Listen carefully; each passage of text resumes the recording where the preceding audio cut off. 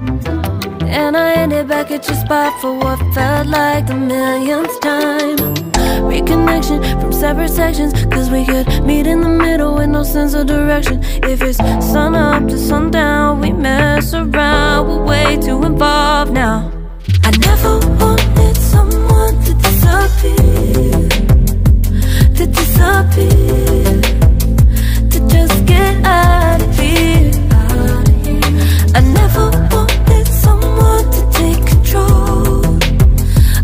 take control. I let you in too close. So baby, just go ghost. Mm. Now baby, just go ghost. Mm. Hey. You called, I let you in and four walls. Kept our secrets hidden, eating fruit so forbidden.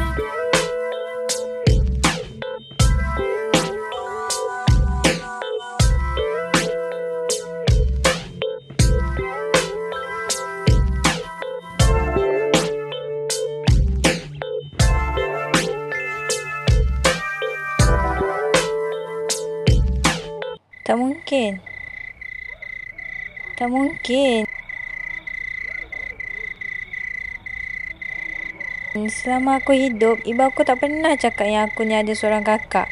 Ibu aku tak pernah cerita pun yang aku ni ada kakak yang bernama Kasha. Ya, aku tahu yang kau takkan percaya semua ni. Tapi kau percayalah, aku ni memang kakak kandung kau. Kalau kau kakak kandung aku, mana kau selama ni? Mana kau pergi selama ni? Kenapa aku kena hidup seorang-seorang sedangkan aku ada kakak? Dan aku tak tahu mana kakak aku pergi. Mana? Mana? Please, Mikasha. Percayakan aku. Aku aku minta maaf sangat-sangat. Aku merayu sangat-sangat. Maafkan aku, Mikasha. Boleh? Aku maafkan kau. Tapi aku kena siasat dulu siapa kau yang sebenarnya.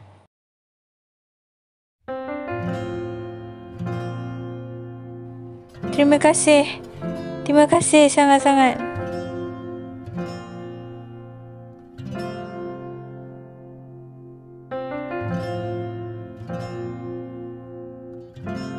Saya cuma tak dapat nak peluk ibu buat kali terakhir. Saya sedih kenapa orang tu sanggup buat ibu saya macam tu. Apa maksud awak? Uh, tak ada apalah Rezo. Saya balik rumah dulu. Bye. Jumpa esok.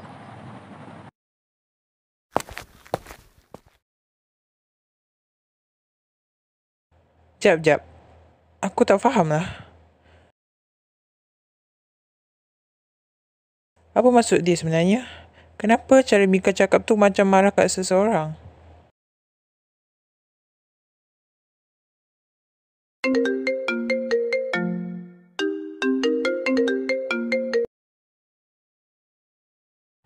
Hello, Rezo.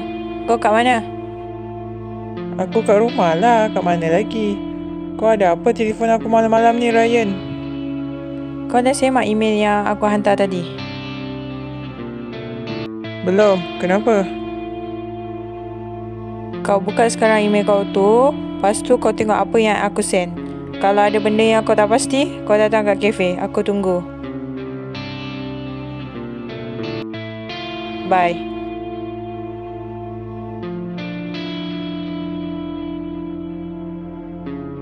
Oh, okay, Ryan. Bye.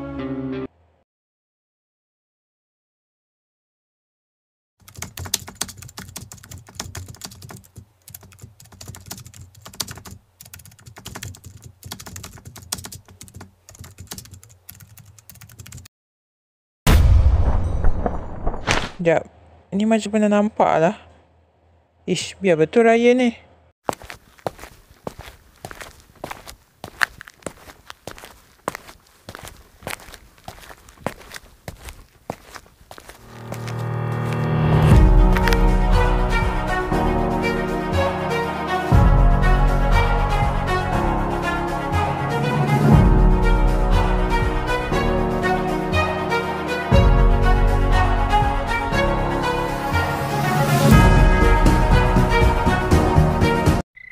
Dah, sekarang ni aku nak kau balik. Aku tak nak kau tinggal dalam rumah ni.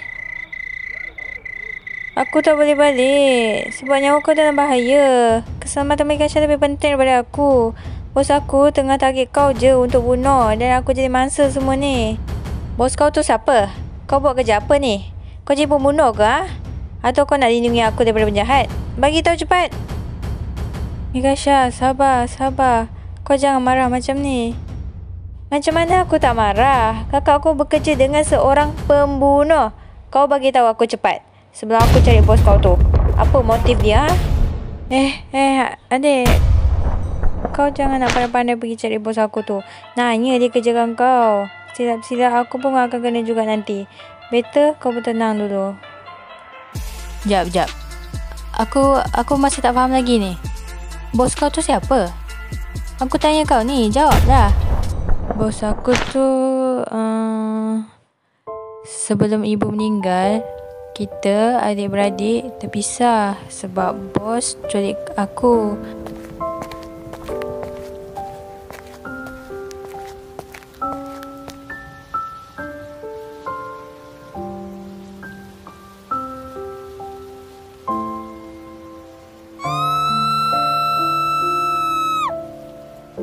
Dan masa tu ibu tengah mengandungkan kau.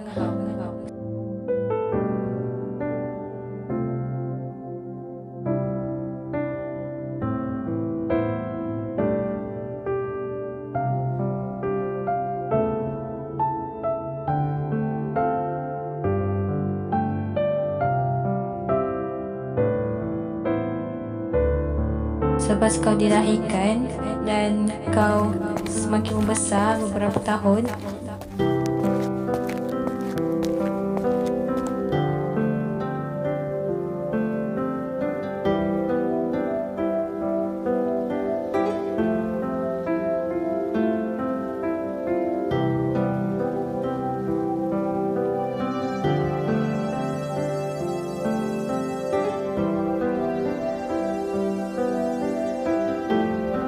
Dia lah yang bunuh ibu.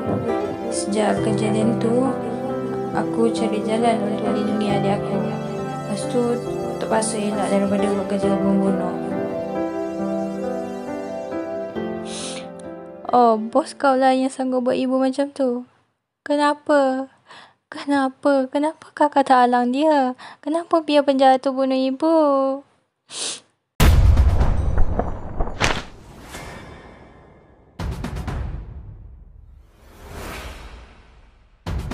Aku minta maaf. Aku tak dapat nak selamatkan ibu. Masa tu aku dikunci dalam satu ruangan.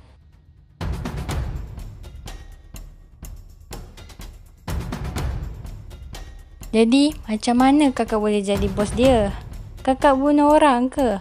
Bertahun-tahun aku dengan tim aku nak tutup kes pasal lima tahun lalu.